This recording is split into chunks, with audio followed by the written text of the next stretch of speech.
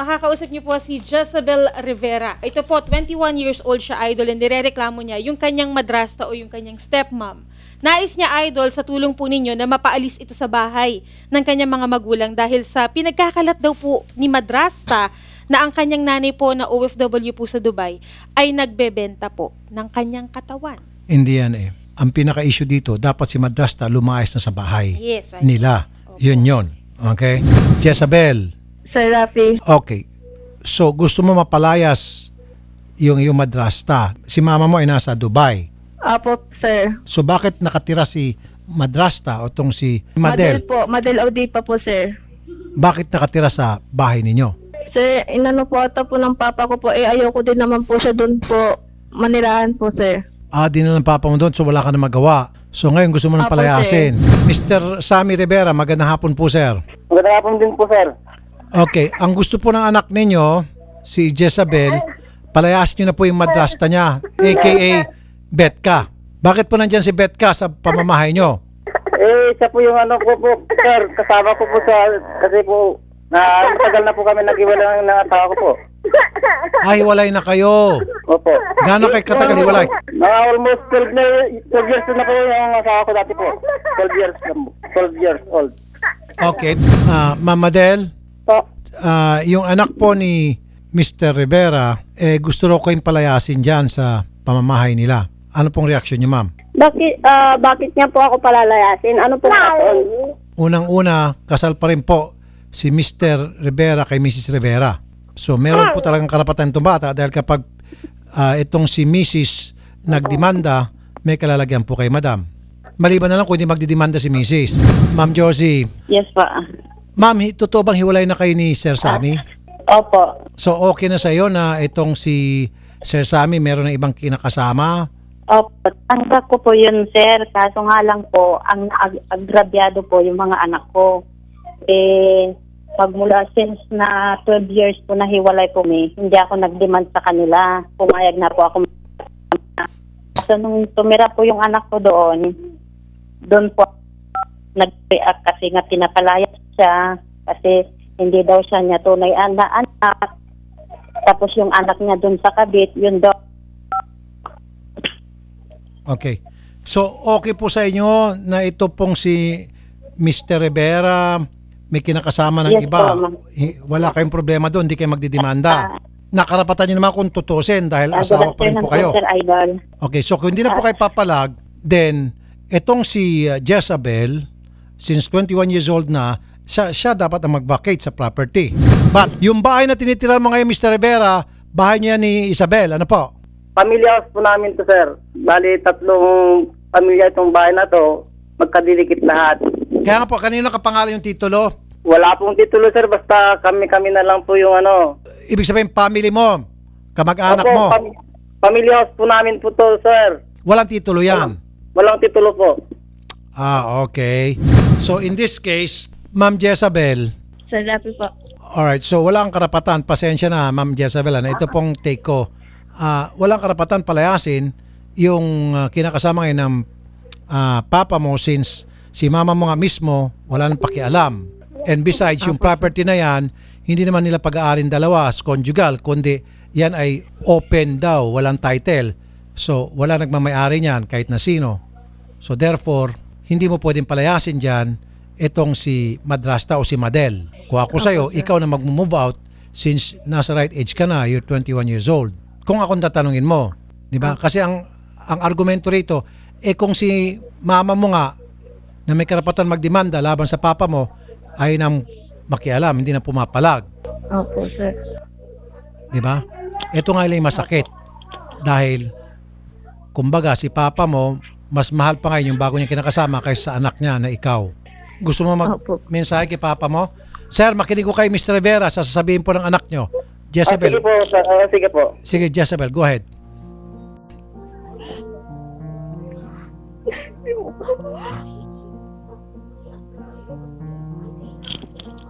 Hindi makapagsalita si Ma'am Jezebel. Okay, may mga katanungan lang ako, Jezebel. Hindi kayo magkasundo nitong si Madel. Yes po, sir. Ba't di kayo magkasundo? Sir, dahil, dahil po, ano, ah, madami na po sinasabi sa mga Mga kamag-anak ko po na, na tungkol po sa amin nila mama po. Tapos po nung simula po nung nag-away po kami ng madrasta ko po, hindi na po ako pinapansin ng papa ko po. Three days na po yun. Okay. Alam mo, Jezabel, pareho may kasalanan dito yung mama papa mo. Una, si papa mo. Bakit siya nangabit? Pangalawa, si mama mo, bakit niya hindi pinagdiinan yung kanyang karapatan na bilang married pa rin dito kay papa mo? Tuloy, ang naging casualty, ikaw, napabayaan ka, nasa gitna ka, naiwan ka sa ere. Hindi mo alam kung anong gagawin mo. Di ba? Opo, sir. Sir Sammy, hindi ka nakukonsensya dito sa anak mo? Sir? Eh, sir, hindi ko naman po siya ano, kaya ako nga pinatira dito, sir. Ginawan po, pinagawan ko ba siya ng kwarto niya para tumira siya dito. Eh, hindi naman siya po nakikisama dito sa mga magagawain. Wala siyang ginagawa, ma'am, sir, dito sa bahay. Nakaiga lang, cellphone. Wala kahit ano, wala kumain. Pag tinatawag, kain lang. Hindi pa siya sumasabay sa pagkain. Ma'am Josie, bakit ayaw niyo pong pagdiinan ninyong karapatan bilang asawa pa rin ni Mr. Rivera? Bakit isinusurrender mo na lahat dito kay Madel na sila ay magsasama na ni Mr. Rivera? Ba't umaatras ka na? Alang-alang sa iyong anak, dapat ipaglalaban mo ang iyong karapatan bilang Mrs. Rivera pa rin. Bakit ayaw mo, Ma'am Josie Rivera? Or I'll fill in the blanks. Meron na rin ba kayong kinakasama, Ma'am Josie? Okay, ay sumagot ni Ma'am Josie. Jezabel, sa pagkakala mo, meron kang kinakasamang iba, yung mama mo sa Dubai? Wala po sa Dubai, Sir Rafi. So sa palagay mo, anong dahilan kung bakit ay paglaban ni mama mo yung kanyang karapatan bilang Mrs. Rivera? Bakit pinabayaan na niyang Dati- magsama na itong si papa mo at saka itong si Madel? Dati po gusto po magka, magkaayos po yung pamilya namin po. Kaso po, nung umuwi po ulit yung madrasta po, ayun po, nagkabalikan po ulit sila ni Papa tsaka yung kapit niya po. Hindi, ang ibig sabihin, bakit ay paglaban ni mama mo para naman ikaw bilang anak, maasikaso na ni papa mo sa halip na itong si Madel. Kumbaga isinurrender na niya kay Madel si papa mo. Hindi mo alam? Ito yung sinasabi ko. Ah, problema ng dala matatanda, ang casualty yung bata. Ah, Miss Josie, ay sumagot ni Miss Josie. Nakikinig lang siya. Nakikinig lang siya niya. Siguro, Nakiki- nakikinig po ako, Idol. k- kaya nga ma'am, Kasi dito yung mga bata, Idol. kaya nga ma'am, pakisagot lang po, isang tanong lang po, last na talaga, hindi ko na ulitin pa. Ah, sige po. Bakit Sige ayaw niyo po ipaglaban ang iyong karapatan bilang Mrs. Rivera? Hindi pa naman po anal ang inyong kasal ni Mr. Rivera. Ipaglalaban ko sana, ah, sir. Ang kaso, yung kabit po andoon. Ma'am, mas lalo mabilis niyo maipaglaban ang inyong case against dito sa kanilang dalawa dahil nagsasama na pala sila. Mas mapapadali po yung paglilitis sa Yes kasong po, ito. Po. Opo, sir. Kaso nga lang po, sir, kasi nung umuwi ako, ang ganda ng usapan namin na aayusin yung buong pamilya namin. Po, kahit wala po. So, okay na sa'yo ma'am. Ah, magsama to si Madel at saka si Nakikinig po ako. Sami. Kasi dito yung mga bata, Idol. Opo, sige po.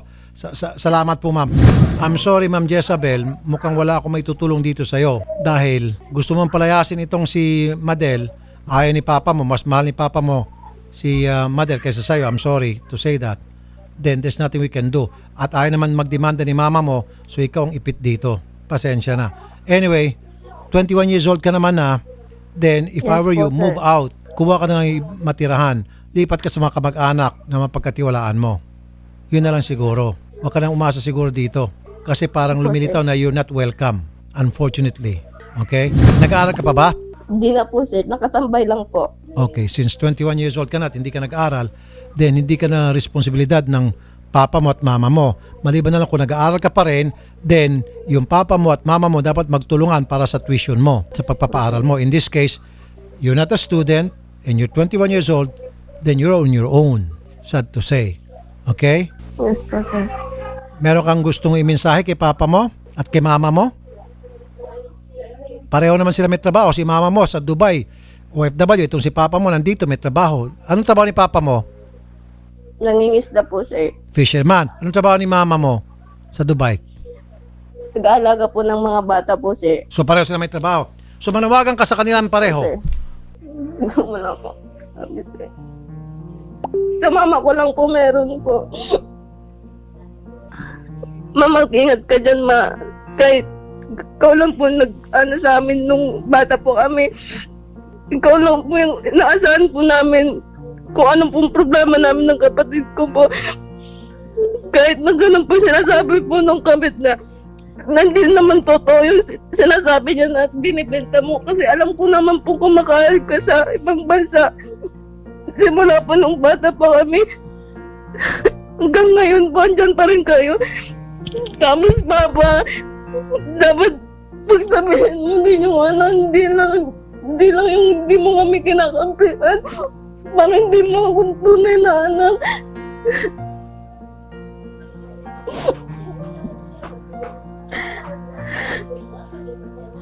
Mr. Rivera, Sir? meron kang gusto sabihin sa anak mo? Ayun, meron siyang madamdami mensahe para sa'yo. Ikaw naman po, wala kang gusto sabihin sa kanya? Ah, meron po, sir. Meron. Sige po, go ahead. Sabihin, anak. Alam mo naman sabihin na hindi kita pinabahan, hindi kayo pinabahan ng, ah, ng kapatid mo. Kahit basta may, mayroon ako, nagbibigay naman ako kung wala, pasensya. Pero dahil ganun naman yung hanap buhay ko. May, kung mayroon, wala, ganun yung hanap buhay ko. Pero andon, sinuportahan ko rin ko, kaya anak. Hindi ko ko pinabawayan kahit kailan. Ang dapat mo sabihin mo din yung, yung pinatira kita Madrasta. kita para ano para mag magtumuwid yung buhay mo pinatira pinatira kita dito para tumuwid yung buhay mo kahit ano yung ginagawa mo dito hindi ko na nga pinapansin dahil ayaw ko ano pero ikaw naman yung ano eh yung sumubra dapat nakisama ka lang gumawa ka na lang kung ano yung gawin dito ultimo nga pag ultimo nga pinagkainin mo hindi mo pa mahugasan ultimo pagbuhos sa CR, hindi mo pa ginagawa na. Siyempre, napuno naman na kung ano mo, tip mother mo. Dapat tumulong ka rin naman sa nakal... Kung kahit magsubyanak dito, na, oh, welcome ka, welcome ka anak. May kwarto ka dito. Welcome ka, welcome ka dito anak sa bahay. Hindi dapat hindi niya sabihin yung madrasta ng gano'n yung kay mama. Tapos sinasabi mo po na namatay na si mama nung katbuhay pa Alam mo, naman yun. Alam mo anak, marami ka pang hindi alam dahil tungkol sa amin ng mama mo. Mayroon nang ibang kinakasama ng mama mo dito, taga, di, taga dito rin sa sa sa Philippines. May alam siguro alam mo naman 'yan. Kaya ayaw na niya sa akin, ayaw na niya ipaglaban sa akin 'yun. Okay. Ayaw niya nang ipaglaban. Okay. So in short, pareho na sila may kinakasama. Meron ng iba. Eh, ito, ah, Jezabel, ito yung mga sinabi ng ilang mga netizen. I don't know kung makakatulong to Jezabel o makapagbigay lakas loob sa'yo. Basahin mo sinasabi ng ilang netizen. Galing po idol kay Ian Cruz. Mabait naman ang tatay mo ate. Matuto ka sigurong makisama para maging okay ang lahat. Ang sabi naman ni Alicia, magtrabaho ka na be, magsulo ka na lang, kaya mo ng sarili mo. Galing naman kay Aiza Kino, walang kwenta yung ah, nanay mo. Promise. Yun po ang sabi ng netizens. Kay Ian Cruz. Mabait naman ang tatay mo, te. Matuto ka siguro makisama para maging okay na yung lahat. Galing po yan kay Ian. Okay, sige. Ayan, Jezabel. Yeah, dyan na lang muna kami. Ah, si mama mo ayaw gumawa ng aksyon, then wala kami magagawa. Kami ay ah, gagawa lang ng aksyon segundo doon sa gusto mangyari ng mama mo. Since yung mama mo ayaw habulin o maghabol, then there's nothing we can do. Okay? Salamat sa iyo, Jezabel. At least nakapag-usap na kayo ng mama mo, papa mo, at saka maging si Madrasta. Ano bang balak mo ngayon? Last na lang. Anong plano mo? Jezabel. Siguro na lang po alis. Alis na lang po, uwi na lang po ulit po ako sa Nueva Ecija po. I think yan ang pinakamaganda. Kung akong tatanungin mo, kung ako nasa kalagayan mo, ganun siguro din ang gagawin ko. Uwi na lang ako sa kamag-anak, sa probinsya, na kung saan, welcome ako doon at ah, hindi ko nakikita araw-araw yung pagmumuka ng taong ayaw ko makita. Di ba? At mas maganda rin yon Jezabel, na maging independent ka. You're already 21 years old. Ito yung edad na kung saan matuto ka na maging independent na tumatayo sa sarili mong mga paa.